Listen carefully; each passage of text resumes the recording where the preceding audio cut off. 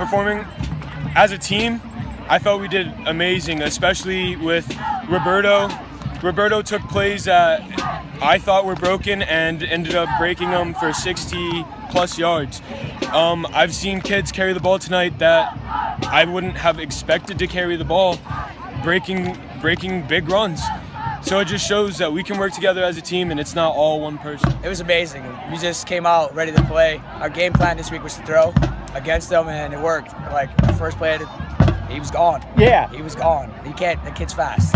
Um, offensive line is amazing too. That's what it is. That's like they they, they block so well. It helped us this week because we were, we were expected to pass, and they had their lineback, linebackers blitzing. So I just stepped up and did what I have to do, and my line is locked. They um, just do what they have to do. It's, it's amazing. They're they're just a great up front. Uh, our linemen's just great. I mean, we just did great. I, I have to thank the line again. The line was awesome. now, how much momentum do you feel like you have now being 2 We 0? have we have enough going into next week, but it's we still right here. It's just starting. We got to keep going.